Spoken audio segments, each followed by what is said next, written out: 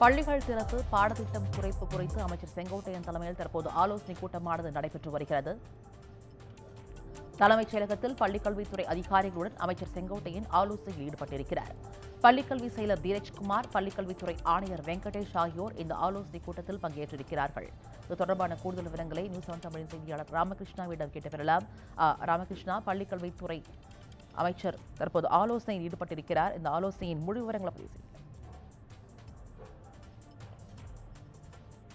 தமிழக பள்ளிக்கல்வித்துறை அமைச்சர் செங்கோட்டையன் சென்னை தலைமைச் செயலகத்தில் பள்ளிகள்துறை செயலர் வீரஜகுமார் இயக்குநர் கண்ணப்பன் ஆணையர் வெங்கடேஷ் உள்ளிட்ட அதிகாரிகளுடன் தற்போது ஒரு ஆலோசனை மேற்கொண்டிருக்கிறார். இந்த ஆலோசனை கூட்டத்தில் பல்வேறு முடிவுகள் எடுக்கப்படவிருக்கின்றன குறிப்பாக சொல்ல வேண்டும் என்றால் தமிழகத்தில் தற்போது பள்ளிகளானது மூடப்பட்டிருக்கிறது. பள்ளிகள் திறப்பு தேதியை முதலமைச்சர் தான் முடிவு செய்வார் என்றாலும் அது தொடர்பாக கருத்து கேட்பு கூட்டங்களை நடத்தி மாவட்ட முதன்மை கல்வி அலுவலர்கள் மற்றும் பெற்றோர்கள் ஆசிரியர்களிடையே கருத்துக்களை கேட்டு அது தொடர்பாக முடிவெடுப்பதற்கு இந்த கூட்டத்தில் அதிகாரிகளுக்கு அமைச்சர் அறிவுறுத்த வருகிறார். அது மட்டுமல்லாது பத்தாம் வகுப்பு பதினொன்றாம் வகுப்பு மற்றும் பன்னிரெண்டாம் வகுப்புக்கான பொதுத் தேர்வு எழுதக்கூடிய தேதியை இறுதி செய்வது குறித்தும் அதற்கான அட்டவணை தயாரிப்பது குறித்தும் இந்த கூட்டத்தில் முக்கியமாக விவாதிக்கப்படுகிறது பாடங்களை பாடப்புத்தகங்களை ஏற்கனவே தமிழக அரசு நாற்பது சதவீதம் குறைத்துள்ளதா குறைத்துள்ள நிலையில் அது தொடர்பான ப்ளூ பிரிண்டை விரைவில் வெளியிடுவது குறித்தும் இந்த கூட்டத்தில் முக்கியமாக ஆலோசிக்கப்படவிருக்கிறது. கூட்டம் முடிந்த பிற்பாடு ஆலோசனை கூட்டத்தில் எடுக்கப்பட்ட முடிவுகள் தொடர்பாக பள்ளிக்கல்துறை இயக்குநர் கண்ணப்பன் சில முக்கிய அறிவிப்புகளை வெளியிடவிருக்கிறார்.